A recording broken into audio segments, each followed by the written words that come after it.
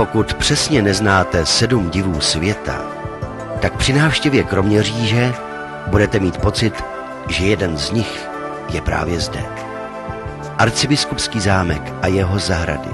Památka zapsaná na seznam světového kulturního a přírodního dědictví UNESCO.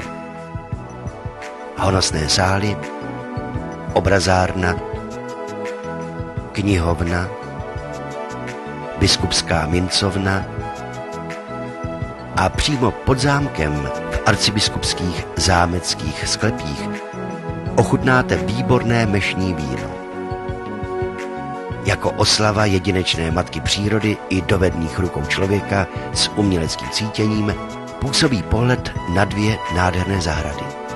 Podzámecká zahrada má charakter anglického parku s množstvím vodních ploch, kašen i romantických staveb. Květná zahrada je zase vybudována v manieristickém italském duchu a součástí zahrady je také rotunda a neuvěřitelných 244 metrů dlouhá kolonáda.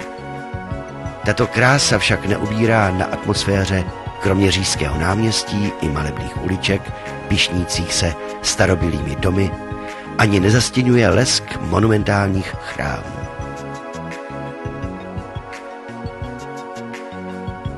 Ale není to jen Kroměříž. V nedaleké Chropini na vás čeká lovecký zámeček opředený mýty o hanáckém králi Ječmínkovi. V Holešově pak jedna z nejstarších synagog v České republice. Šachova synagoga a rozsáhlý židovský hřbitov.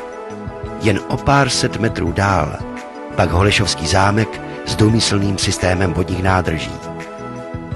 Zcela jiné svědectví o životě Hanáků najdete ve skanzenu venkovské architektury v Rimicích, který dokumentuje život hanácké vesnice v 18. a 19. století.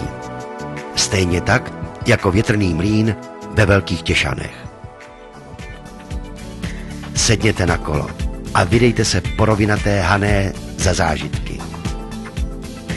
Po cestě všude narazíte na koupaliště, ale i na občerstvení. Jakmile začnete stoupat, pozor, míříte do chřibů.